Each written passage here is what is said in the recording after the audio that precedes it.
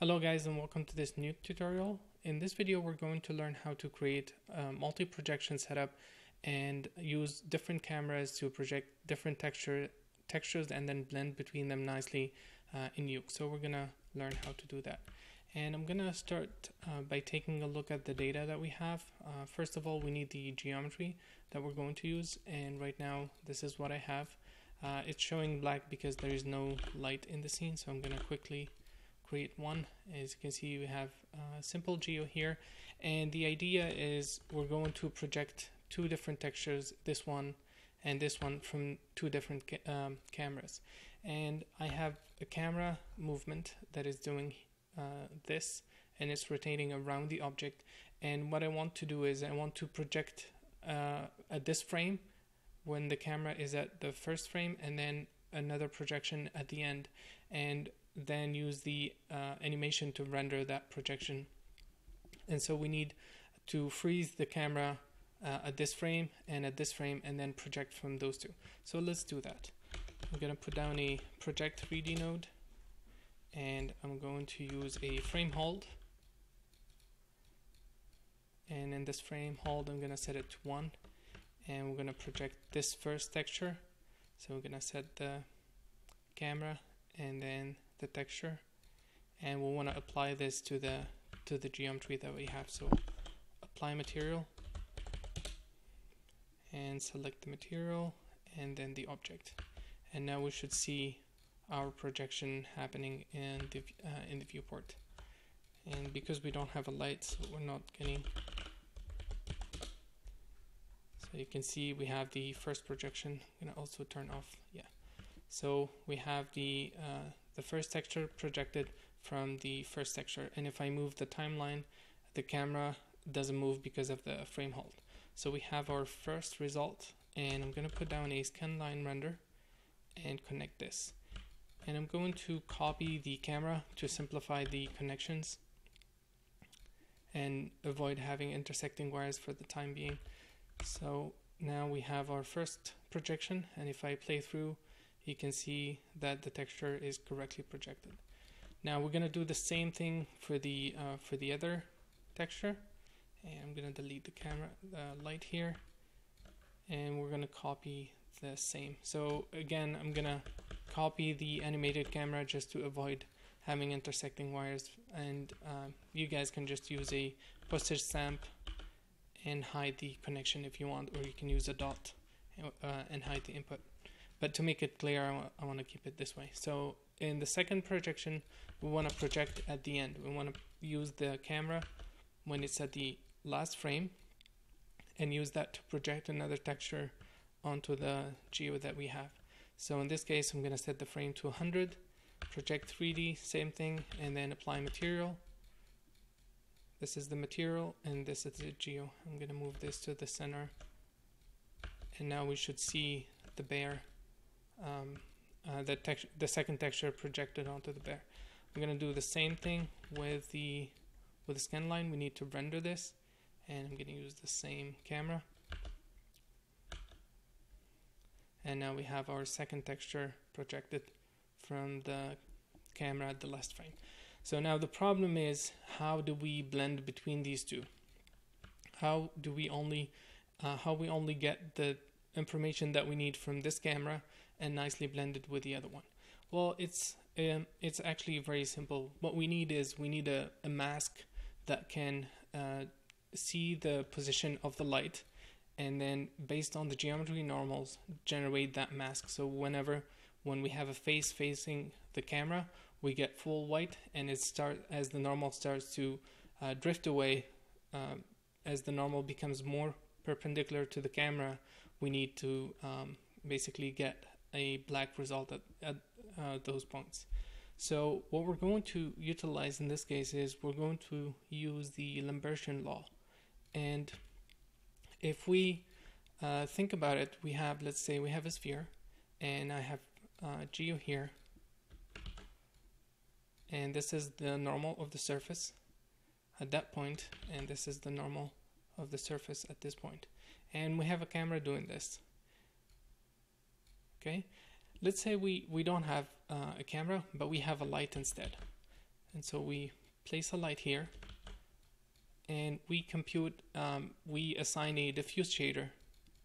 And what the diffuse shader will do it's going to basically use the Lambertian law and give us based on the surface normal and the light either 1 or 0 and it's going to blend between them. So the light that hits this points will give us back 1 and the light that hits this points will give us back 0 and in be- anything in between. So if we uh, use this result to blend in to generate the mask that we need we can nicely blend in between the different textures. And this is also how we create uh, Fresnel in uh, in Nuke. So let's start by talking, taking a look at the result and see um, and see how we can make use of this to create a Fresnel pass. And let's say I'm gonna take a copy of the camera. I'm gonna do it in a different place. And let's say around frame 50, I'm gonna put a frame hold, okay? And I'm gonna paste, place a light. And in this light, I'm gonna manually position it so that it's somewhere close to the camera something like that and I have a diffuse shader already assigned and I'm gonna put all of this into the scene and then we're going to use a scan scan line render and connect this and if we take a look at the result we should see it's one. So I think the reason why it's rendering black at the moment is because the geometry doesn't have a normal. So I'm going to put down a normals node and set it to built. And let's see. So that should give us the normal.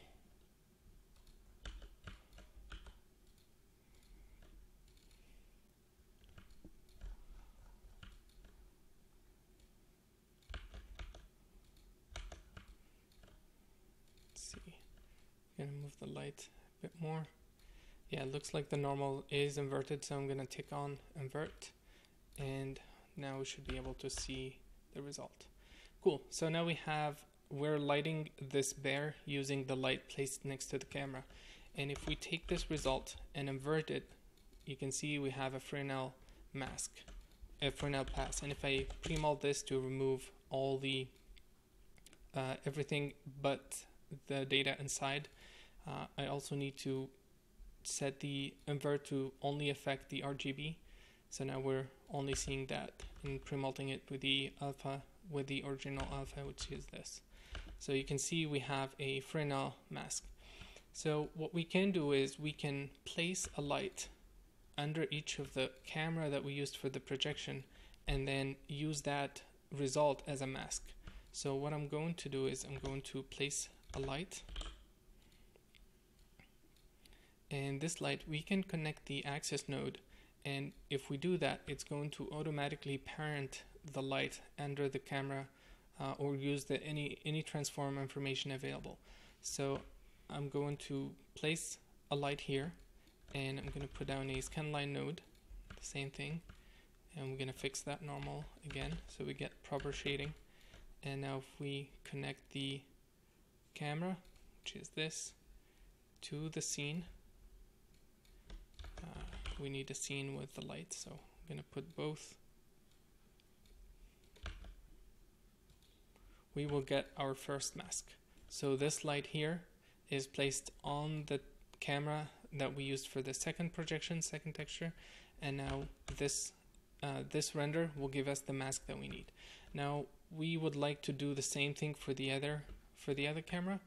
Um, so we're going to copy the light place it here do the same thing and then we need to connect this to the scene. So I'm gonna do that connection. Uh, it's a little bit confusing at the moment because of all the intersecting wires but try to make it understandable. So I'm gonna put down a dot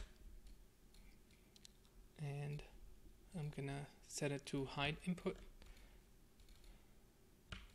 It's not going to work. Okay that's fine. So we'll leave it at that at the moment and uh, let's see I think I can make it work. Still the same issue. Okay so I'm going to connect the second light which we placed here by just parenting it. And now I have the two renders uh, the two uh, lights lighting the the bare geometry.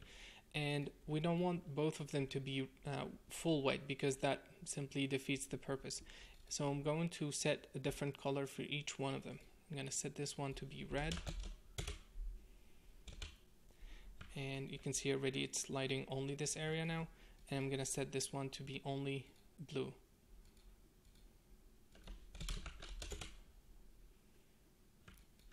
Cool. So now we have a red for the light for the camera on the right and blue for the camera on the left. And all we have to do is we only need to shuffle in each of those colors. So the red and we're going to use that for the for this texture. So I'm going to put down an in node.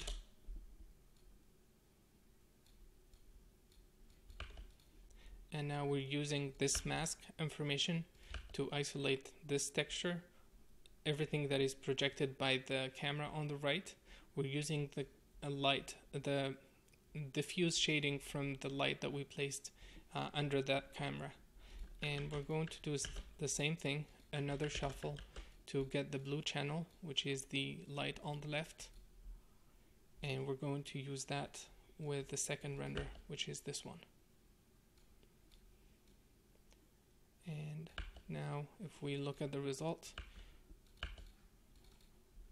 Sorry we need to change this to blue and this one to red cool. So now we have we're masking both results and all we have to do is we need to place in a merge node and combine both of them.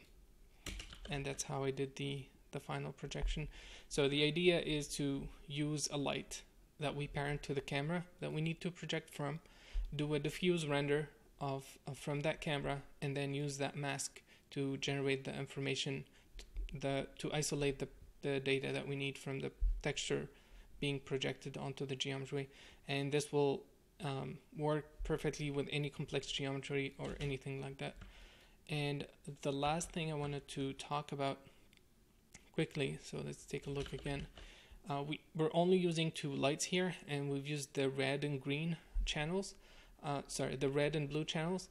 And if we uh, if we needed to do more projection we can simply create another scan line and just I have three lights and put those in red green and blue. We can also I believe use the alpha channel but I'm not so sure about that. Um, I wanted to show something else uh, quickly. So I'm gonna take I'm gonna take this geo here and I'm going to copy uh, I'm gonna create another camera. And with this camera I'm going to point it down minus 90 and move it up and instead of using a point light so we've created point lights for both of them I'm going to create a spotlight and I will show uh, why is that. And we're going to connect this to the scene. So the masks that we've created we have red green and now white from the top. I'm gonna change it to green.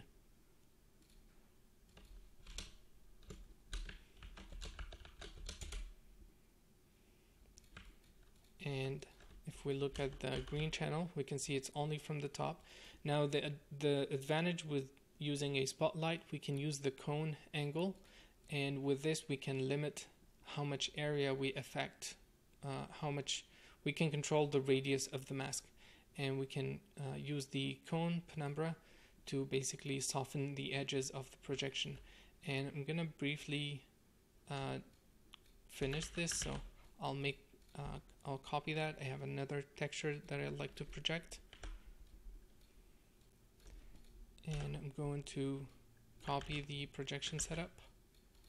And for the camera, we're going to use this, and we're going to use this geo. And this is the texture that we need. And then a scanline node. So object, and then the camera would be the same camera is this one. And this should give us the projection. Cool. So this is the projection from the top and we can simply use the uh, the green channel to mask this out. So here green channel and then we use the in operation. And now we have the texture masked and we can simply add that back on top of everything else. So we have three projection and we've used a spotlight to control the region where we want the uh, the the projection to happen. I'm gonna go back to the viewport and move the light move the camera a bit so we can see it better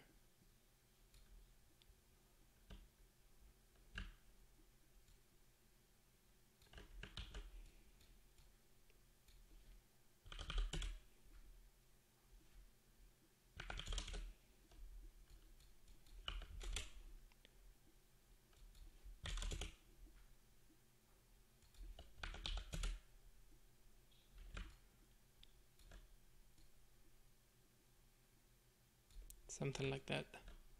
So let's take a look at the projection. And the mask. Cool. So now we have more data. And we can simply put that over. And now we have three three projection happening onto the same uh, the same object. I think that's pretty much it. I will have the uh, project available, uh, the final project available in Gumroad for download, and uh, the link is uh, below the video. Thanks, uh, thanks for watching, and talk to you soon. Bye bye.